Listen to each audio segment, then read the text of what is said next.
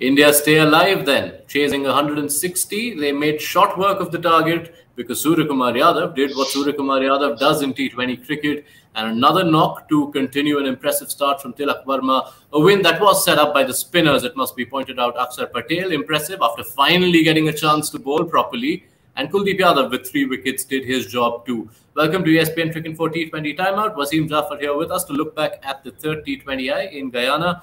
Wasim, this was uh, the performance we'd expected from India in this series.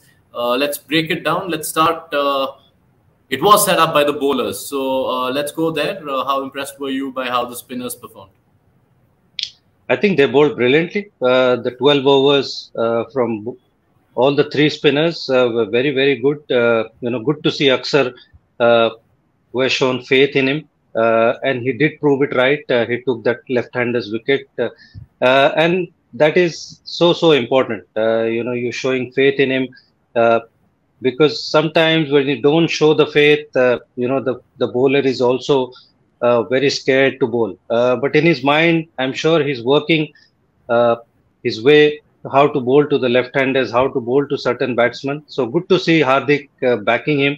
Uh, and again, Kuldeep being Kuldeep, he, he was brilliant, brilliant throughout the one days, brilliant in the T20s also. Usually didn't pick up wickets, but I thought, you know, he bowled pretty decently as well. So I thought uh, Hardik used the bowlers really well. Uh, Mukesh uh, he introduced a lot later, uh, and which is understandable uh, because he himself bowled really well uh, the first three overs. Mukesh only got to bowl the last two overs, which I thought he bowled really, really well. but I, I thought overall the bowlers bowled really well. If at all that 19 overs still, you know, is, is a little bit of that thing with uh, the Indian team. You know, the 19 overs went for the 17 overs. If I can be a little bit critical, uh, that's where they can be a little bit more uh, better. But other than that, I thought uh, it was a pretty good uh, bowling uh, performance. Yes, I want to talk about the bowling plans because it was a different plan that India went in with. Just the two overs of seam at the top, and then you saw a barrage of spin, nine on the trot, and 12 of the next 14 overs were spin. what did you make of the plan? And while you can't always plan it out, it depends on what happens with the batting team. Was this an ideal template or the ideal utility of the wiggle room that six bowling options provide you with? Well, I mean, I was surprised uh, because last time uh, Hardik bowled with the new ball and he picked up wickets. So it wasn't that India didn't get wickets uh, up front. Uh, but they completely changed the template today, uh, which was good to see though. Uh, you know, something West Indies uh, generally likes the pace coming onto the bat. Uh, Brandon King, whether it's Kyle Mayers. so, so it was good to see spin being brought on, and, and that's probably where Akshar can actually get his two, at least two overs out of the way, which he did. And then even after the power play, Hardik showed faith in him, which was good to see. And then he complemented by picking the wicket also. So uh, pretty good uh, strategy, I would say. You know, the West Indies batters generally don't pick uh, the wrist spinners really well. So I thought uh, it was a pretty good plan, and and the spinners also delivered. Quick word on Kuldeep Yadav, three for 28, three key wickets. Uh, got Johnson Charles, got Brandon King, who was the top scorer, and then Nicholas Pooran, the most dangerous of the lot. Uh, in particular, the wicket of Nicholas Pooran and how he did it, because Pooran had hit Kuldeep for some runs, but uh, the way he set that up, uh, the fact that he still tossed it, he still invited him, uh, perhaps the greatest indicator of how Kuldeep bowls when he is in his full flow and has his mojo up. Well, I think his uh, the speed at which he bowls, I think that has improved. Uh, earlier, he was you know people were critical that he bowls really slow, which gives batters time. Uh, but now that has improved. Uh, his consistency in the length also has improved. Uh, he doesn't bowl that many bad balls now. Uh, and that wicket of Nicholas Pooran was was a game-changing moment. You know, he's their main batsman and the guy who's in great form. To get him out uh, relatively cheaply uh, with that you know flight and, and, asking him to come out and you know with Nicholas Pooran once he plays a couple of balls you know something is going to happen where either he's gonna step out and hit him uh, which he did earlier uh, also uh, then he reverse swept for a four. So you know, with Nicholas Pooran, the big shot is around the corner. Uh, but he's such a good player and in such a good form.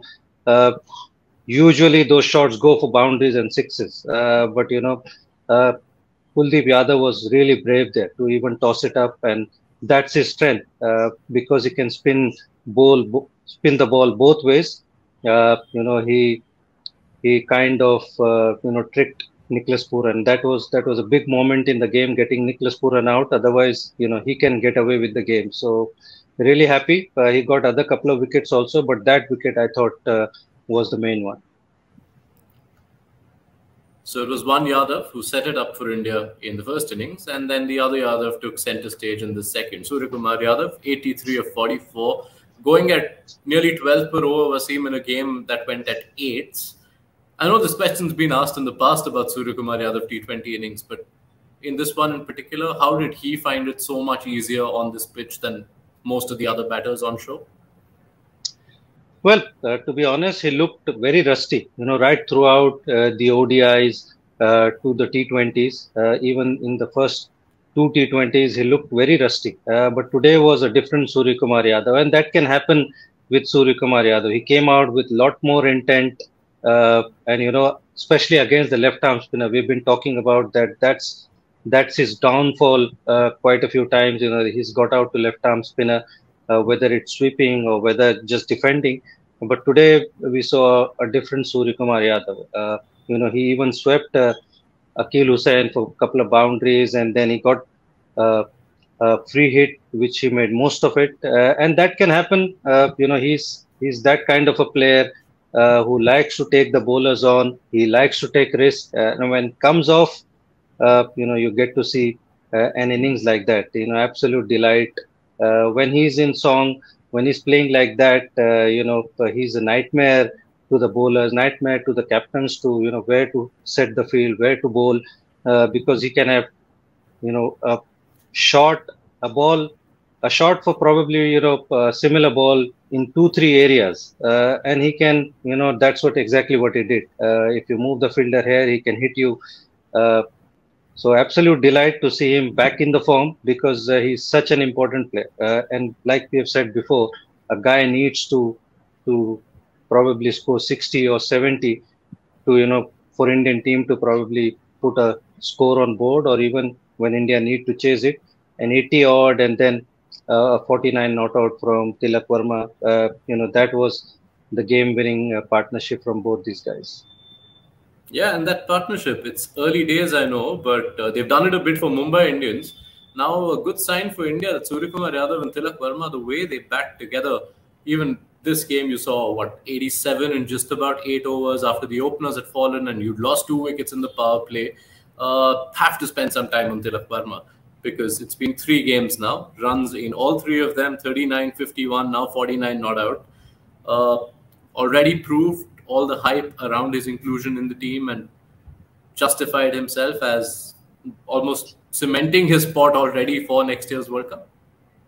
Absolutely. I mean, uh, in the first three innings, I can't remember anybody being as consistent, as uh, you know, matured, uh, or as assured uh, in his stroke play uh, as Tilak Varma. Uh, you know, he's just 21, 22, very young, early 20s. Uh, and for him to come out and bat in certain situations, uh, you know, absolute delight uh, to see. Again, he came out, you know, with the rain coming in, and there was there was probably talks that it might go to Duckworth Lewis. So he came out and attacked uh, first two or three balls and hit couple of boundaries. Goes on to show, you know, how uh, tuned in he is with the with the team's demand uh, and the game game sense that he's got. So that is very very refreshing to see. And then how he you know, controlled the innings with Suryakumar Yadav going, you know, hammer and tongs from the other end.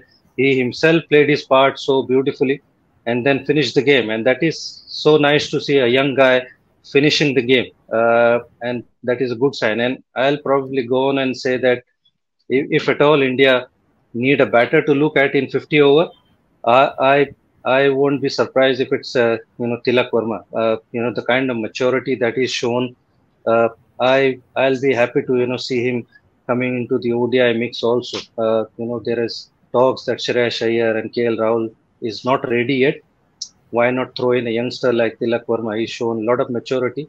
Uh, and that left-hander option also. Uh, we've been looking for a top-order left-hander.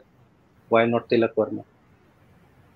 That's interesting. You bring that up. If India are to consider it, uh, would you would you say it's almost unfortunate that there is as little time left because you just have the Asia Cup and those three ODIs against Australia. So if Tilak is to be blooded into the ODI setup, are you a little short on time? We are definitely short on time, no doubt about it. You want a guy to at least you know play 15, 20 ODIs, uh, but unfortunately that's not the case. Uh, and we expected Shreyas and KL to have been ready for the Asia Cup so unfortunately, we are reading that they won't be ready. They won't be available for Asia Cup, uh, and we don't know whether they'll be still be available for the Australia ODI. You know how how serious are those injuries? So if you want to try uh, a guy, why not Tilak Varma? Uh, you know, uh, if at all, because anybody who's going to play, he's going to be undercooked, uh, no matter who it is. So I, I I probably take a bet on Tilak Varma if at all I Yeah, an important to point out to our viewers that what you mentioned about the start of his knock, Tilak Varma walked in at 34 for 2 in 4.2 with rain around. And at that point, uh, at the end of five overs, the DLS par score was 40. He hit two boundaries in the first three balls he faced, and that meant India were ahead of it, were the game to have been stopped at that point. So kudos to that game sense as well. That then uh, covers us for this game. The series stays alive. Uh, look forward to being joined by Wasim Jaffer for the fourth and fifth games, which will be part of a packed weekend in as the caravan moves to the USA. Thank you for your company.